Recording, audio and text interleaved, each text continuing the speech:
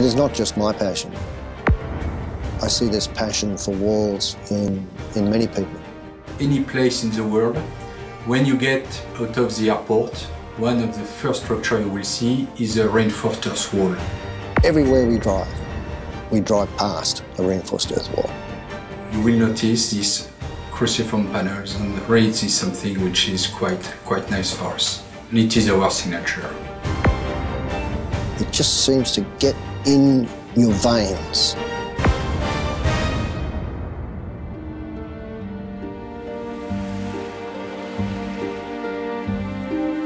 La terre armée est née d'un rêve bâti sur le sable dans une île au milieu de la Méditerranée. J'ai mis des aiguilles de pin dans un tas de sable et j'ai constaté une certaine cohésion. Et l'ombre d'un pin, il s'est aperçu qu'un tas d'aiguilles de pain et de sable tenait presque verticalement. Et si tu voulais, son idée est partie de là. En fait, j'avais réalisé un premier ouvrage en terre armée fait de deux éléments, des grains et des armatures. C'était un grand ami, un très très grand ami. Henri Vidal était un homme euh, passionnant et passionné, c'était un homme euh, de grand caractère, euh, d'une grande finesse, d'une grande intelligence. Vidal était un grand enthousiaste. Et si ça n'avait pas été lui, ça n'aurait pas eu ce succès.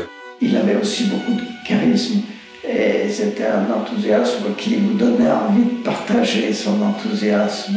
Je retiens de lui euh, surtout euh, sa qualité à choisir les hommes. C'était un artiste et un grand architecte. Son charme a beaucoup aidé à séduire les gens, enfin, qu'on avait envie, envie de, de, faire de la thérapie. Je crois que ça a joué énormément. Mais ce n'était pas facile. Il m'a fallu cinq ans pour en faire la théorie basée sur le frottement entre les grains et les armatures, et pour concevoir une technologie économique et rapide à mettre en œuvre.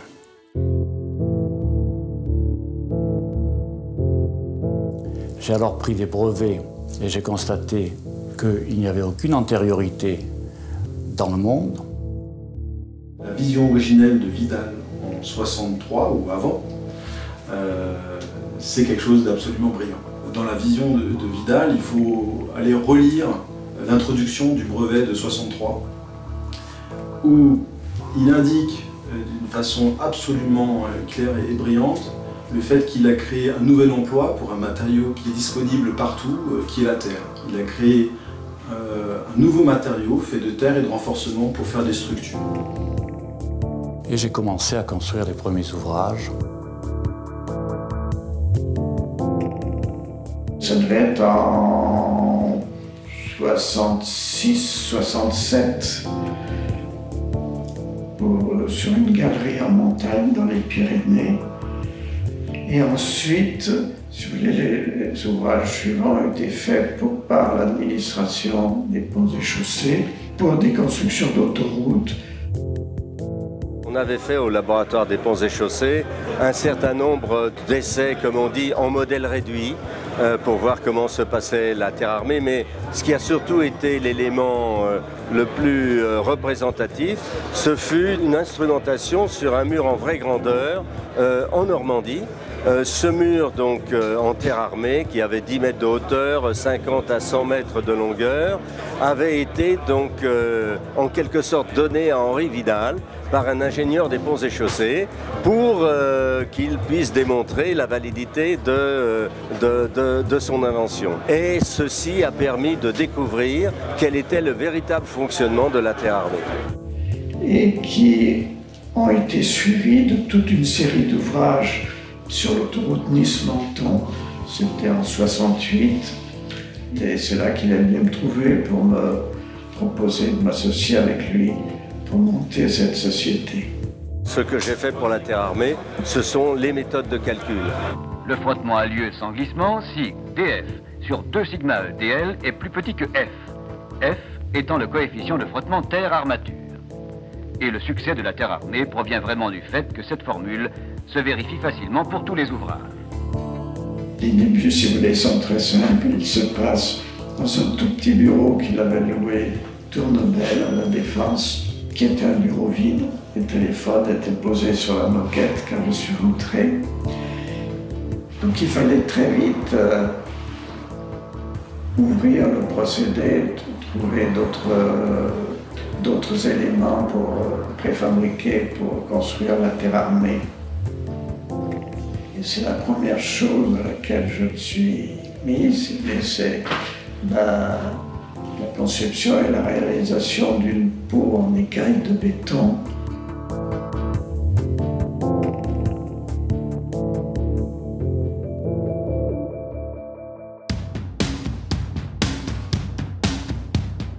Ricoh was incorporated in the States in 1971. This was the second company formed outside of France, following Ricoh Canada in 1970. Dès le départ, on savait qu'on irait à l'étranger. Enfin là, c'était une première occasion.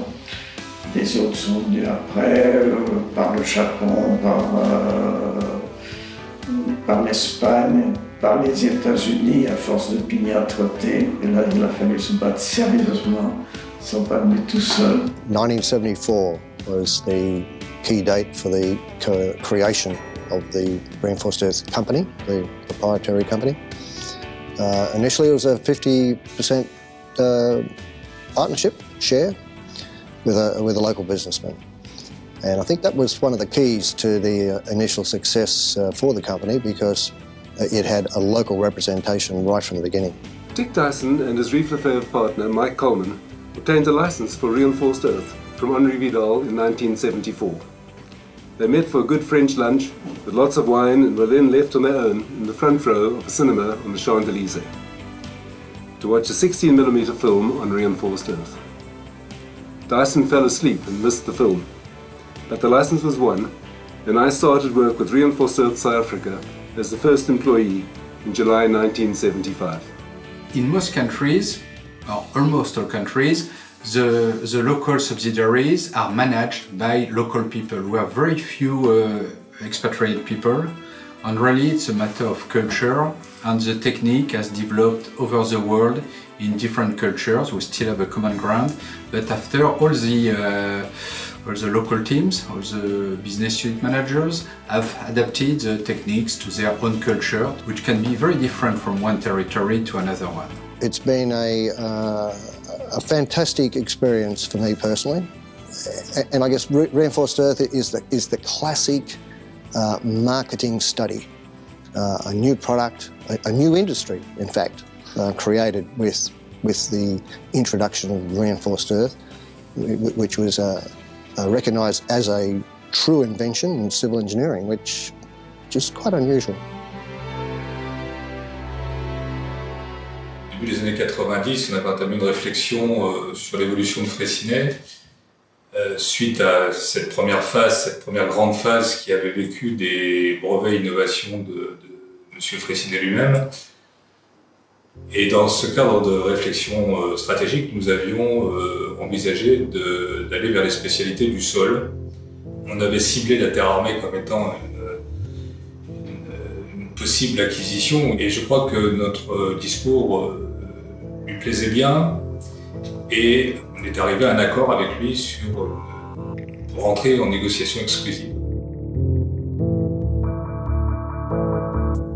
Décembre 98, euh, nous signons l'acquisition euh, finale et à partir de, de cette date-là, donc nous rencontrons le, le management. Uh, in 1998, when uh, Reinforcers uh, came into the Freycinet group, uh, it was a fantastic discovery because I had the chance to be part of the little group of people which was in charge of uh, making sure that we integrate technically and in terms of marketing a global offer between Freysisol and Reinforcers.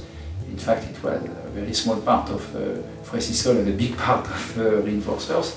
And Pierre Silvestin was a fantastic professor in order to explain, uh, first of all, uh, how the technology works in its detail, how it has been built, and to help us to understand the very detail of uh, how uh, you can calculate uh, reinforcers in the most difficult part, the experience which was made on a very large number of structures, and also the detail of uh, how it behaves in terms of durability.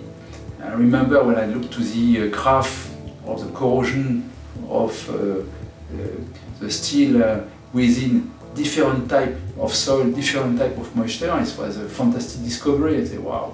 Terre Armée fait partie du groupe Vinci, bien sûr, mais d'abord et avant tout fait partie de Vinci Construction et des métiers de spécialité rassemblés au sein de Soleton Fraissinet chez Vinci Construction. Et en cela, euh, Terre Armée est une niche euh, d'activité avec un modèle très particulier qui est un modèle basé sur l'ingénierie, la fourniture, l'assistance technique aux entreprises générales. Now I'd like to share some of my favorite memories, starting with one of our primary core values, community spirit. This has resulted in really great relationships with RICO Canada. This includes both important projects that we've worked together and also the free exchange of both technical and marketing ideas and discussions. Also, Menard in the US, where I was actively involved in development of the company here. And to date, we have over 20 projects completed together. We have over 40 years of company history here in uh, this uh, modest company team, which consists of about 20 people. And consistently since the 1970s, we have done uh, quite a bit of development uh, since the, uh, the uh, early days. L'utilisation de remblais et de renforcement pour faire des structures à une échelle, euh, à cette échelle-là et avec euh, une, euh, une vision industrielle, c'est quelque chose de, de, totalement révolutionnaire. Ce que j'ai retenu comme étant le, plus important, c'est le développement des armatures à haute adhérence. On est aujourd'hui, à mon avis, autour un, tournant. Les, concepts, les concepts de base qui ont été développés avec beaucoup de, avec beaucoup de talent suite à, l'innovation au début des années 60, ces concepts sont en train d'évoluer vers encore plus euh, d'utilisation d'interaction sol-renforcement et euh, d'optimisation des, structures. On est passé du frottement entre le remblai et le métal lisse au frottement entre sol et sol, le sol étant enfermé entre les nervures des armatures à haute adhérence. Et en même temps, euh, étant donné qu'on mobilisait davantage le frottement, on pouvait avec une largeur plus, plus, plus faible des armatures, pour le même poids de métal, augmenter l'épaisseur des armatures. Donc augmenter de beaucoup leur résistance à la corrosion. Future of reinforcers will be made by uh, diversification. We have launched a quite important diversification plan for reinforcers. We are involved in majority in uh, road or motorways projects. And we feel we have a big uh, potential for development in other segments, other market segments. In fact, it was the case in the past. Uh, we have some very good examples in the early beginnings of projects in sectors like uh dams, like uh, seawalls, like energy. And there's still a big potential. We want to diversify ourselves in the mining business, in the waterways, in the industry, in the military, the railways, so in many areas where we have a lot of reference already, but those references are quite unique in a country.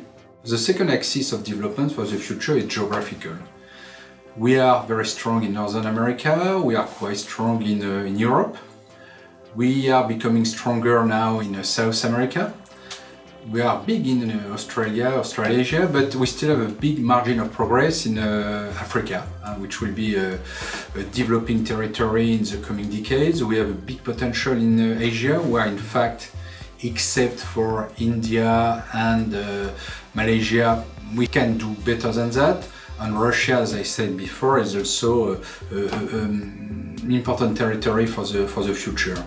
parmi les innovations récentes et qui à mon avis seront marquantes pour le futur euh, de, de la Terre armée, il y a l'utilisation euh, de renforcement non connecté au sein des masses euh, en, Terre armée, dans le cas de renforcement relativement extensible pour raidir cette masse. Ce système on l'a appelé Terre composite et nous a permis de, de franchir des, des, records de hauteur en murs verticaux renforcés par armature synthétique. And a third axis of development is uh, the cooperation with the other uh, activities of the Soletanche Freycinet group.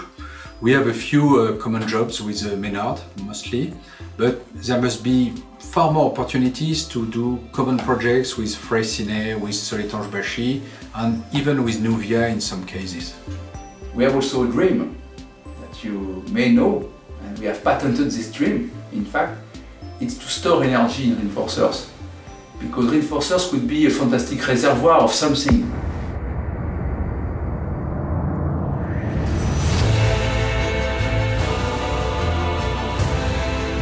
Vidal created, we made it strong. This company is fantastic. Uh, They have been ahead for uh, 30 years and uh, they will be ahead for many years.